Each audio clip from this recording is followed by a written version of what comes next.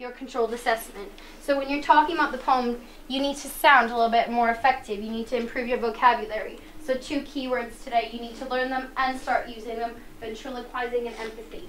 It also links with our poem, The Man He Killed, that we're going to study today. So I'll give you one more minute. Make sure you've got those keywords down, and then we're going to talk about them. One more minute. All right, I could write a poem. You're right.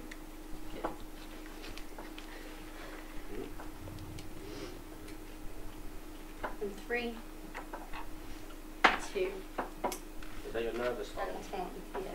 Does anybody here know what a ventriloquist is? Yeah, yeah, yeah. Yeah. That Yeah, person yeah. just speaking like over the side of the room. That's exactly. It's somebody that would Yeah. speak like on the other side of the room, right? So if I were to use ventriloquizing, use it as a verb, as an action, But what do you think that would mean? I don't know. Using a puppet. Well, kind of. So I would like for you to imagine in today's poem, you've got a man, all right, who's writing about the man he killed, but the actual poet is not writing from his personal perspective. Is that clear? like a puppet. He's at a pub, standing beside some random man, and he's overhearing his conversation. So today I want you to imagine when we study the poem, you've got myself, maybe I'm Thomas Hardy, the poet, all right, and he's writing from the perspective of the man What's over here. name? So I want you to think of it if I was speaking on behalf of him. All right, this is the silly part. Hi. Oh, yeah. Suddenly So anyways, you get the point. So the idea of it, the idea of it is basically ventriloquizing. I want you to think of a definition. If I was ventriloquizing, hi boys. Does anyone here want to play rugby? Uh, not right now. Thank you. Cheers. All right. Um, what I want you to think about is when you're ventriloquizing, the poet is ventriloquizing the voice of the other man in the pub and his personal experience. So that's what you need to remember today is that you've got my silly frog over here is actually the man, all right, that our poet is overhearing. It's not the poet writing from his personal perspective, which is very different to the last poem we'd been studying. So if you can take one minute, I'd like you to try and come up with your own definition for, for ventriloquizing based on the little demonstration. Off you go. What does it mean to ventriloquize something? Off you go. So when you're writing your controlled assessments, make sure that when you talk about this poem, you're not speaking and saying, Thomas Hardy felt. It wasn't Thomas Hardy's feelings. It was Thomas Hardy listening in on a conversation. He was thinking, actually, I can understand what that man is saying, or I can understand what that man is thinking. All right, so definition of ventriloquizing then, help us out. Ria, what did you come up with? Uh, it's writing in someone else's position or perspective. Brilliant. So writing in someone else's position or perspective. Fabulous. All right, Kieran, something else? Uh, to say or write something in somebody else's point point of view. Fabulous. To say or write in somebody else's point of view. Perfect. Does anybody know the term empathy then that would fit into ventriloquizing? What does the word empathy mean? Does anybody know that?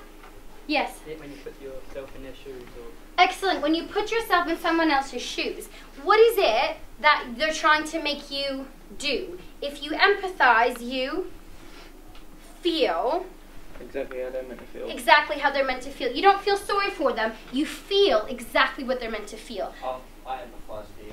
You empathize with me. Thank you very much. so when you're thinking of ventriloquizing, he's speaking on the other side of it, all right? But he's also trying to feel or make us feel or empathize, right? With what's happening, with what the man in the pub is speaking about. And we'll talk about that in a minute. So, second definition, on your own, what does empathy mean? Off you go. One minute. That could have been me. Any thoughts? Yeah, but they're not really nice. All right. Something more Appropriate for school. Yeah. not appropriate for school. All right, help us out. Poppy? Um, the thing on the news about the boat sinking. Brilliant. So the thing on the news about the boat sinking, the cruise ship that sank, fabulous. So when you thought that could have been me, how do you felt? All of us can think, oh, uh, maybe I'll go on a cruise one day. Could have been my cruise, right? How did that make you feel? It made me feel like scared that it could have been anybody. Yeah, They Could didn't have know been what was someone in your happening. family. could have been anybody. Say that again? Could have been someone in your family. Could have been somebody in your family, perfect. So right away you think, oh my goodness, that could have been me, could have been somebody that I knew. That's what this poem is all about today, all right? Literally, let me take you through a small little story about um, this man at the pub. So Thomas Hardy, our writer, he's gone to the pub as usual, all right, and this just happens to be after the Boer War. And he's sitting there having a drink, and beside him is a soldier that's just come back from the Boer War. And he's sitting there talking to this man beside him. All right, so Kieran, can you come up? I want you to sit here. All right, you're going to be the soldier sitting there. Pretend to have a drink. Yes? Help me out, Stephen. Come on up. Brilliant. All right, the two of you are just sitting there having a drink, right? Fab. And I'm the author, Thomas Hardy, standing here just listening in. Now I want you to think about it. You've just come back and you've been at the front line fighting, okay? Yeah? Yeah. Front, front line fighting, you've come back. Now what happened to you is a man came up to you, literally. You're at the front line, you've never met him, never spoke to him, and both of you draw your guns. Good? What's gonna happen? Are you gonna shoot me? Am I gonna shoot you? What are you gonna do? Shoot them first. You're gonna shoot me first, right? Why? Because you don't want to die yourself. You don't. Absolutely. You don't want to die yourself. Why do you not want to die? Because you just, well, you just don't, yeah. You don't. Absolutely. You've gone to war. You don't want to die because who are you going to upset?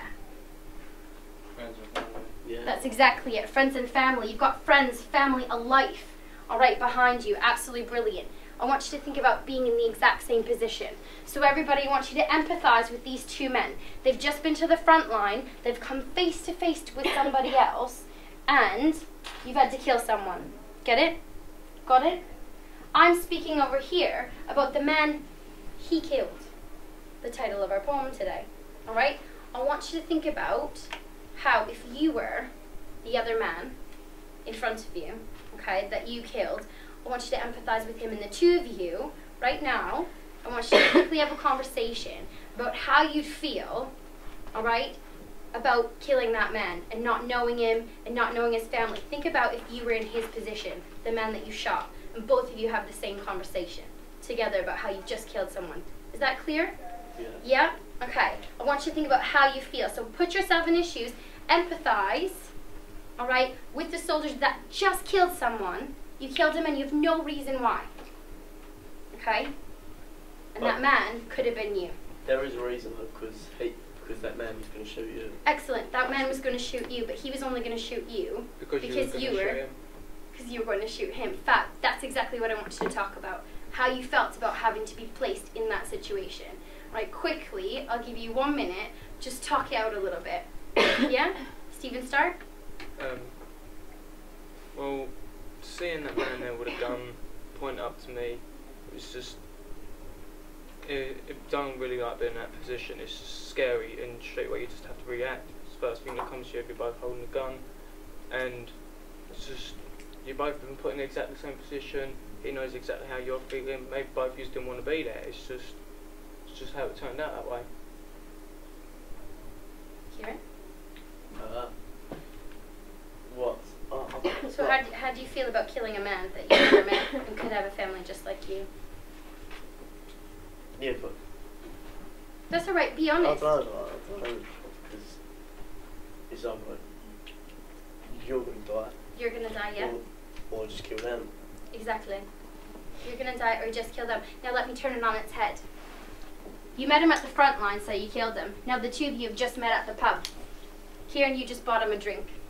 You don't know him, just like you didn't know that man. His drink. Bought him a drink. There you go.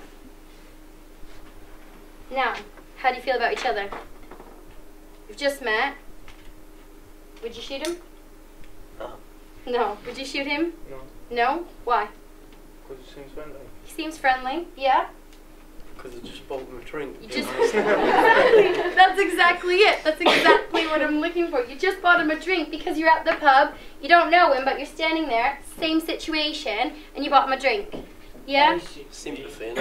Yeah. Sympathy. Uh, What's a better word for it? Instead of sympathy, you don't feel sorry for each other. You. Empathize. Yes. Sorry, I'm bit excited. That's right. You empathize with him. So, ladies and gentlemen.